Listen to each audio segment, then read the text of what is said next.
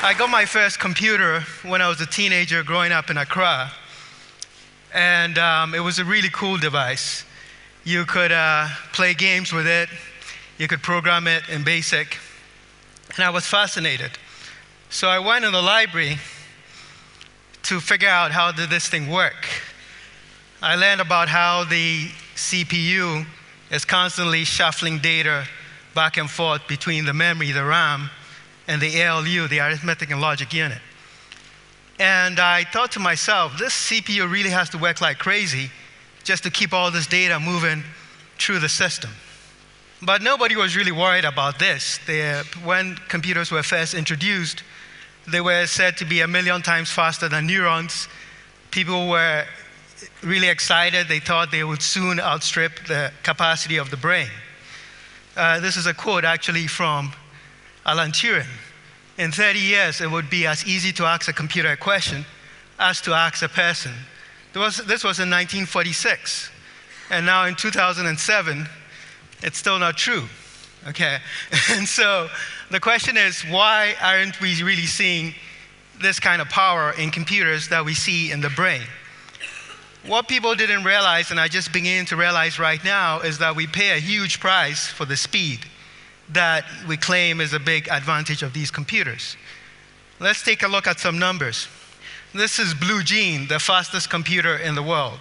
It's got 120,000 processors. They can basically process 10 quadrillion bits of information per second. That's 10 to the 16th. And they consume one and a half megawatts of power. So that would be really great if you could add that to the production capacity in Tanzania. It would really boost the economy. and, so, and so, but just to go back to the States, if you translate the amount of power or electricity this computer uses to the amount of households in the States, you get 1,200 households in the US. That's how much power this computer uses. Now, let's compare this with the brain. This is a picture of actually uh, Rory his girlfriend's brain. Rory is a graduate student at Stanford. He studies the brain using MRI. And he claims that this is the most beautiful brain that he's ever scanned. so that's true love right there. Now, how much computation does the brain do? I estimate 10 to the 16 bits per second is actually about very similar to what Blue Gene does. So that's the question. The question is how much, they are doing similar amounts of processing, similar amounts of data. The question is how much energy or electricity does the brain use? And it's actually as much as your laptop computer, it's just 10 watts. Okay, so what we are doing right now with computers, with the energy consumed by 1,200 houses, the brain is doing with the energy consumed by your laptop. So the question is, how is the brain able to achieve this kind of efficiency? Let me just summarize. So the bottom line, the brain processes information using 100,000 times less energy than we do right now with this computer technology that we have. And so how is the brain able to do this? Let's just take a look about how the brain works, and then I'll compare that with how computer, computers work. So this clip is from the PBS series, The Secret Life of the Brain. It shows you these are cells that process information. They are called neurons. They send little pulses of electricity down their processes to each other. And where they contact each other, those little pulses of electricity can jump from one neuron to the other. That process is called a synapse. And so you've got this huge network of cells interacting with each other, about 100 million of them, sending about 10 quadrillion of these pulses around every second. And that's basically what's going on in your brain right now as you're watching this.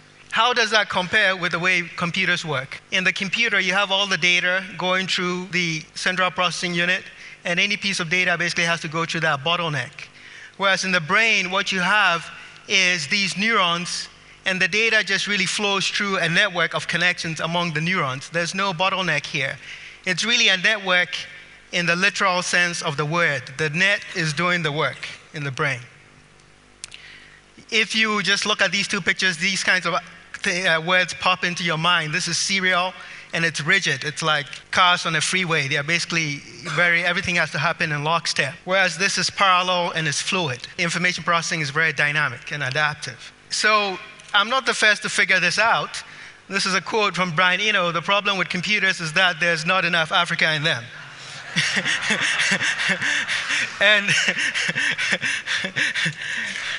and um, Brian actually said this in 1995. And nobody was listening then, but now people are beginning to listen because there's a pressing technological problem that we face. And I'll just take you through that a little bit uh, in, the, in the next few slides.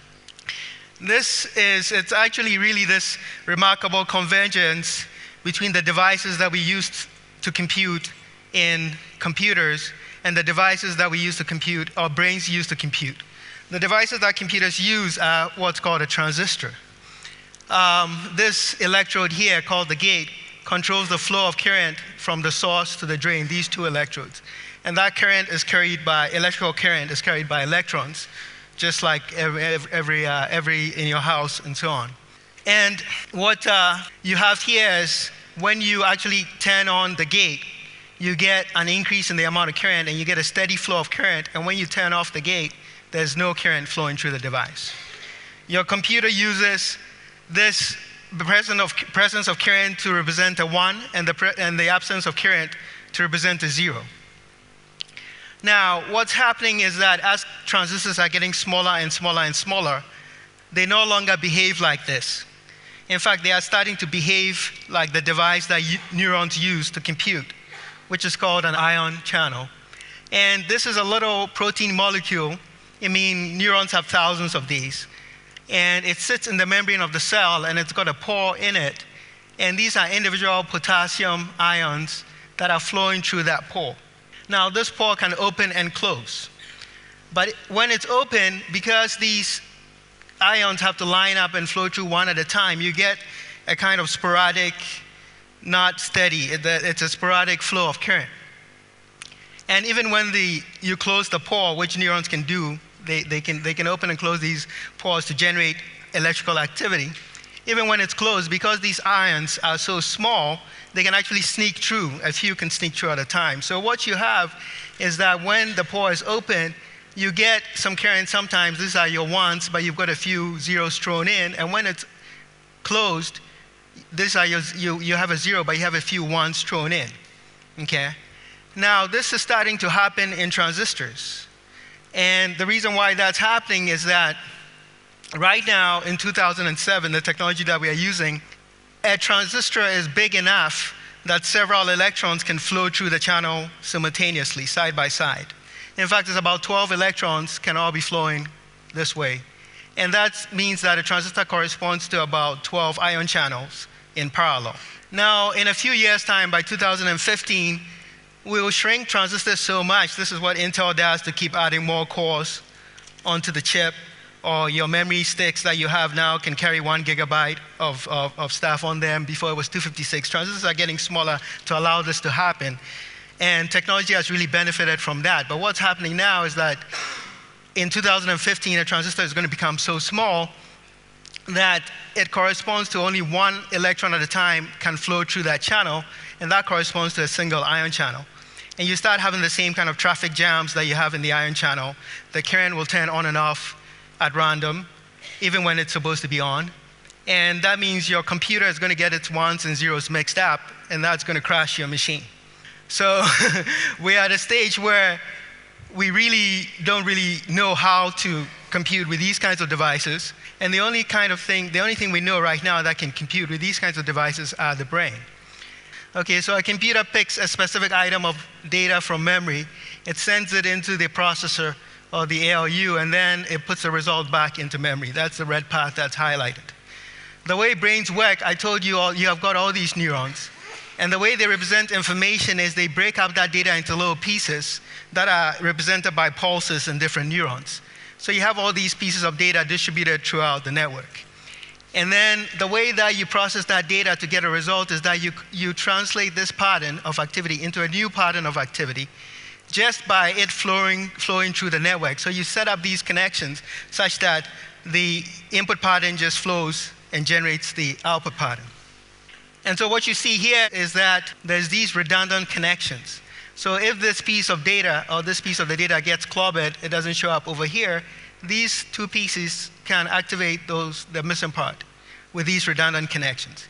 So even when you go through these crappy devices where sometimes you want a one and you get a zero and it doesn't show up, there's redundancy in the network that can actually recover the missing information. It makes the brain inherently robust. And so what you have here is a system where you store data locally and it's brittle because at each of these steps has to be flawless, otherwise you lose that data. Whereas in the brain, you have a system that stores data in a distributed way and is robust. And so what I want to basically talk about is my dream, which is to build a computer that works like the brain. This is something that we've been working on for the last couple of years. And I'm going to show you a system that we designed to model the retina, which is a piece of brain that lines the inside of your eyeball. We um, didn't do this by actually writing code like you do in a computer. In fact, the, what the processing that happens in that little piece of brain is very similar to the kind of processing that computers do when they stream video over the internet.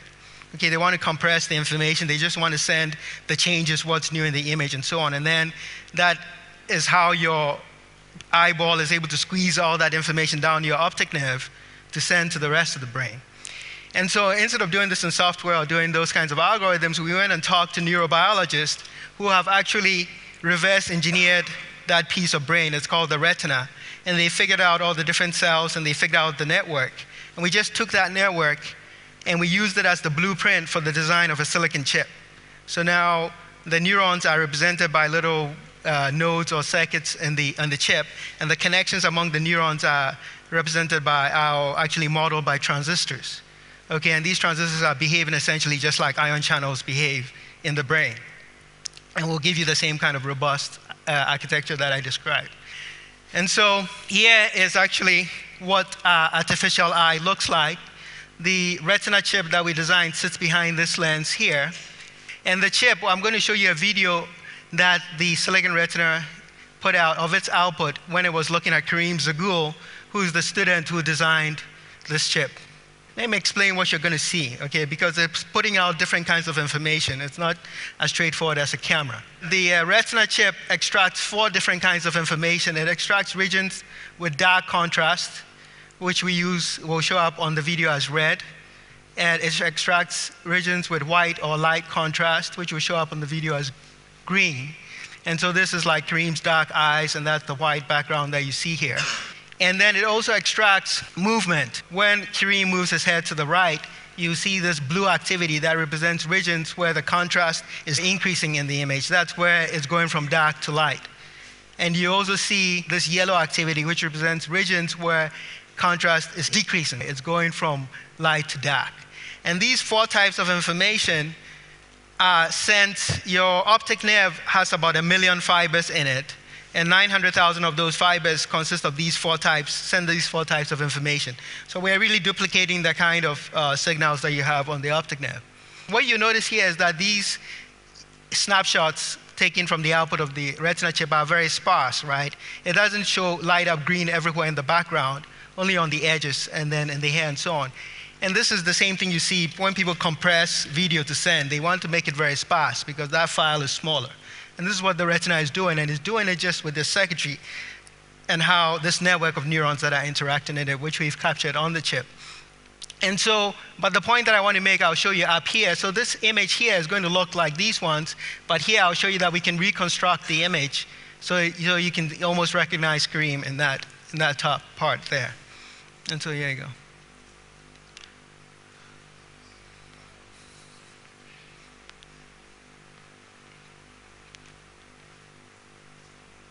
Yeah, so, so that's the, the, the idea. When you stand still, you just see the, the light and dark contrast, but when it's moving back and forth, the retina picks up these changes. And that's why, you know, when you're sitting here and something happens or, or in your background, you immediately move your eyes to it. There are these cells that detect change and they, you move your attention to it. So those are very important for catching somebody who's trying to sneak up on you. Let me just end by saying that this is what happens when you put Africa in a piano, okay? This is a steel drum here that has been modified, and that's what, I, that's what happens when you put Africa in the piano. And what I would like us to do is put Africa in the computer and come up with a new kind of computer that will generate thought, imagination, be creative, and things like that. Thank you. So, question, question for you, Kwabena. Do you put together in your mind the, the, the work you're doing, you know, the future of Africa, this conference is about, uh, what connections can we make, if any, yeah, between them? Like I said at the beginning, I got my first computer when I was a teenager growing up in Accra. And I had this gut reaction that this was the wrong way to do it. It was very brute force, it was very inelegant.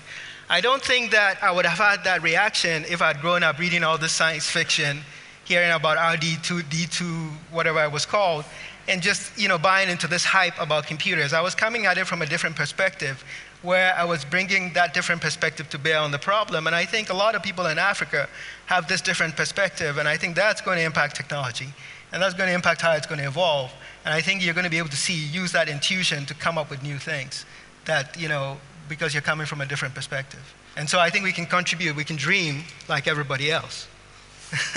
Thanks, Kwabena. That, yeah. was, that was really interesting. Thank you.